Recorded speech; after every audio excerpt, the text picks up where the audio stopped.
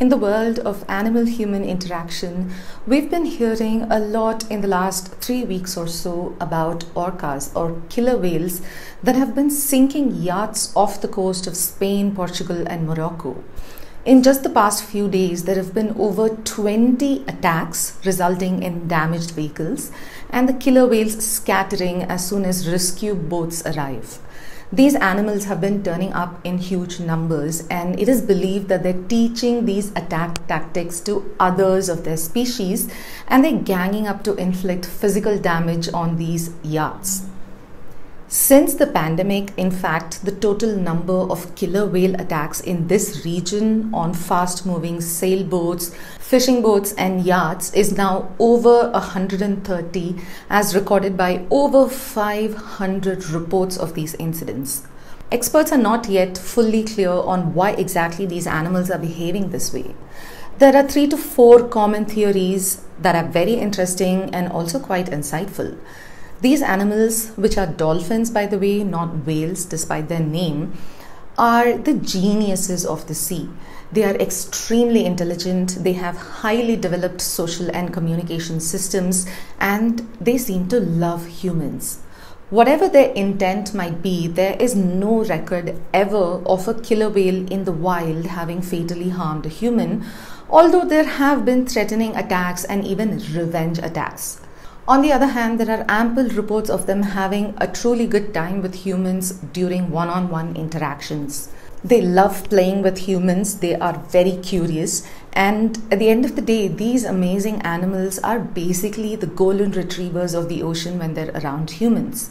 New scientific discoveries about their brains and brain structure are extremely interesting, and their social structures are so incredibly complex that we might be highly underestimating their intelligence. Killer whales are the largest of the dolphins and they are found across all the seas in the world.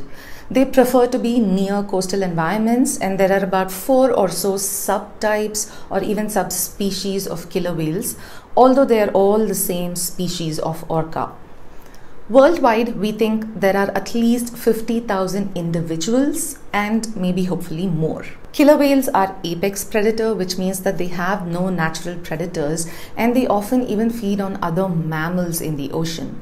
They typically feed on fish, sometimes even birds, including large birds like penguins. They hunt in groups that are called pods and they have highly sophisticated and coordinated hunting tactics. Sometimes they use this skill and their intelligence to take down animals that are much larger than themselves, including both baby whales and adult whales. In 2019, killer whales killed blue whales on three different occasions. In fact, we even had a video about that. These highly intelligent animals have social behaviors that have various levels of emotionally complex aspects to them. They are very playful. Older adults teach youngsters techniques, learn by observing other animals and other orcas, and these animals also interact with members of other species. They have complex social bonds with each other as well. In fact, they live in a system that is as complex as those exhibited by elephants or apes. Killer whales are used very frequently in sea shows around the world, especially in the US, for entertainment. Trainers who work with them report that they hardly ever have to take any effort to train these animals. They learn new tricks very, very quickly and they can pick up stuff fast by observing other animals doing these behaviors. They have a complex language as well, and killer whales from geographically separated pods actually have dialects or accents. Many of these killer whales or orcas that grow up in captivity or especially isolation end up having personality disorders, including exhibiting self destructive behaviors or attacking trainers. This is once again similar to dogs, where dogs start to display such behaviors when they are extremely bored or highly anxious or have too much pent up energy that doesn't get released regularly. For many of us millennials out there, Free Willy is likely to be a childhood favorite movie. The movie showed a bit about how smart these killer whales actually are, and the existence of these movies shows how trainable these animals are. So, these friendly animals do not attack humans and, in fact, seem to like the company of humans and playing with us. So, why are they now attacking boats? There seem to be many theories that are being proposed by experts, with three or four big ones. One is the case of the Gladis injury that takes us back to 2020. There are three killer whales in this region that are involved in these yacht attacks. These are named White Gladis, Black Gladis, and Grey Gladis. White Gladis is the oldest female, and a theory is that she was once attacked or injured by a fast moving boat, or she was just traumatized by a bunch of boats. So she retaliated and started sinking fast moving boats and then taught this behavior to others. These three Gladises were most commonly involved in attacks in 2020. And now, three years later, it looks like half the orca population in this region is attacking fast moving boats. These are mainly yachts that are getting physically damaged, especially on the rudder. Some of these boats and ships are disabled because the animals damage these rudders and prevent them from moving, just like stopping a tail fin prevents fish and these mammals from swimming. Some of these yachts are in fact sunk around Spain, Portugal, and Morocco by these animals. Another theory is that the orcas are doing it for revenge. We have known stories from during whaling times 50 to 100 years ago about killer whales chasing and attacking humans who have killed other members of their group or pod. It is possible that maybe a mother orca or killer whale was killed and the others from the pod, especially the kids, are now retaliating in revenge. It is also possible that these animals live in such a stressful environment that maybe after the relative month or so of calm in April of 2020, they started reacting negatively to ocean and maritime traffic from May of 2020. The other popular and seemingly the most likely practical theory is that these killer whales are just playing.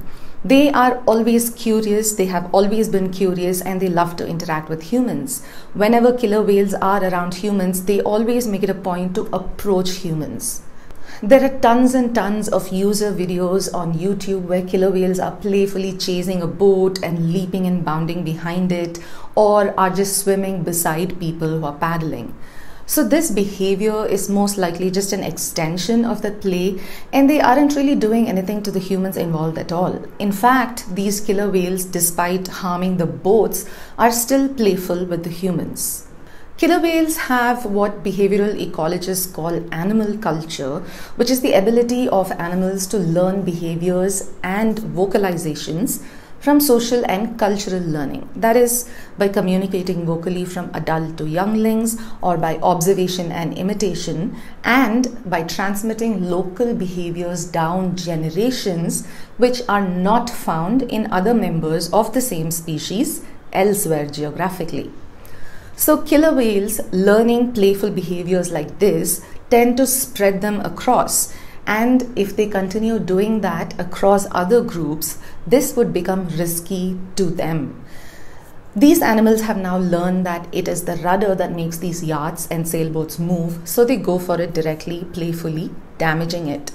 This increases their safety risk in oceans and is particularly bad for a region like the Strait of Gibraltar, which sees such high traffic at all times. The authorities now have limited maritime traffic here in response, but this event unfolding here is one of these large scale interactions between our species and another.